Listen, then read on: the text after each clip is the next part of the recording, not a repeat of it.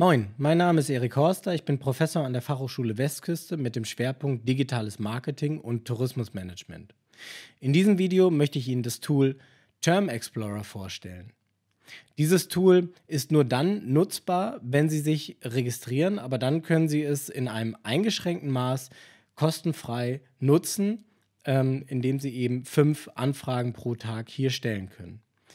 Spannend ist hier das Bulk Keyword Tool. Sie können das ähm, starten und müssen dann hier entsprechend einen Projektnamen eingeben.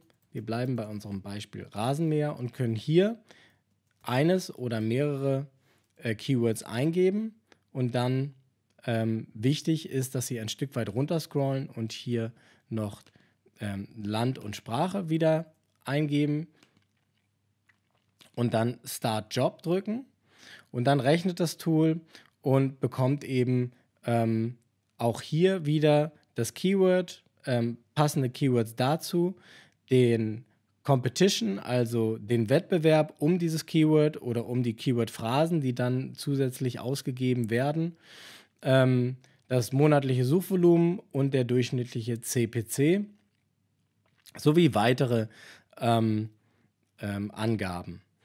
Was besonders spannend ist, ist der Filter. Sie können also hier zum Beispiel negative Keywords definieren.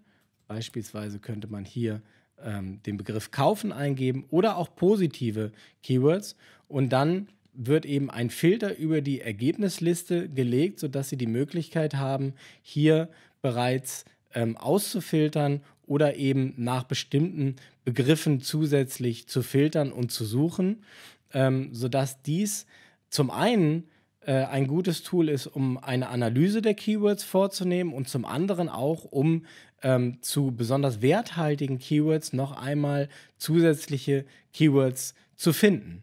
Also insgesamt ein sehr spannendes Tool, was aber leider wieder im kostenfreien Rahmen nur sehr eingeschränkt zur Verfügung steht.